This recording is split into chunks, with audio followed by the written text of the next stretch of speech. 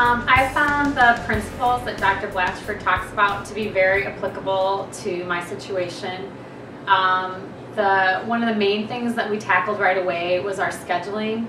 Uh, I had a feeling there was a way to be more productive within the time frame that I was in the office, and Dr. Blatchford really helped us to do that, and we've uh, increased our daily production by about 25%.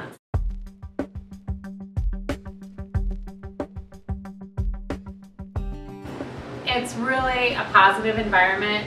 The team members have um, taken responsibility for our goals as a team and that's relieved a lot of stress and pressure off of me. And yet I've seen so many things become accomplished together and that's really pulled everybody together and gelled. And um, it's so it's just a very positive work environment. On top of that we've taken a lot of time off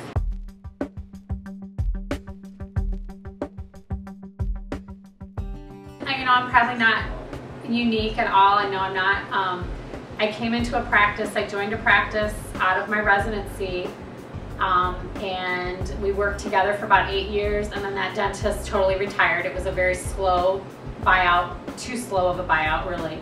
And so I did, I faced a point where I had to say, okay, wait a minute, now this is my practice. I don't have to do it the way it was done before. What do I want? Uh, so it's given me the opportunity to really look in myself and, and our team to talk about what are we the best at. And so we've really focused on that. So.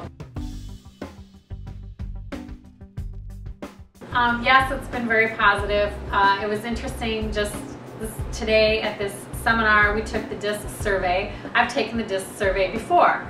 Well, I actually changed categories. So when I took it before, when I um, probably had just uh, taken over and my the older dentist had recently retired, uh, my former business coach told me that I need to dial up my D and be more assertive and be the leader. And so that's been something that I've I've known was an issue that I needed to do. And um, now today when I took it, I, I'm a D.